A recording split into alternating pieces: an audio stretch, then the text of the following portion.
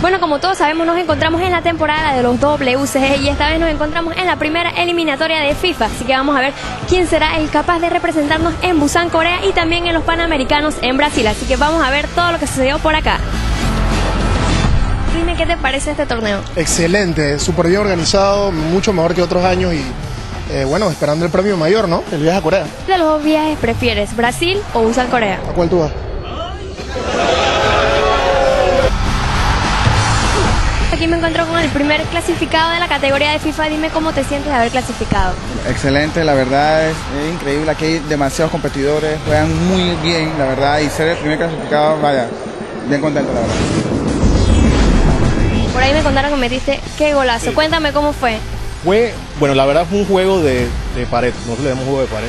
Una jugada de 1-2, Messi quedó solo, tiro a la esquina del arco y metió gol sobre Casillas. Es mi primera vez en este torneo, siempre jugamos torneos en casa, eh, pero veo que el nivel es bueno, así que el reto es muy bueno y me gusta.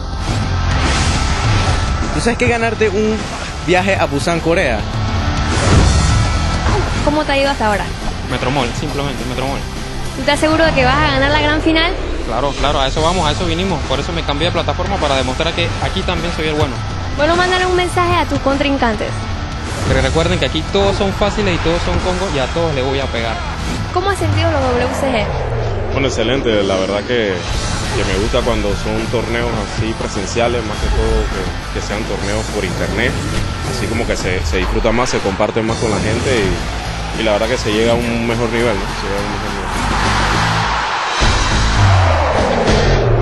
Chicos, esto ha sido todo lo que sucedió acá en las eliminatorias de FIFA. Los esperamos el 27 y 28 de agosto en Metromall, donde veremos quién será el capaz de representarnos en Busan, Corea y en Brasil. Así que los esperamos a todos.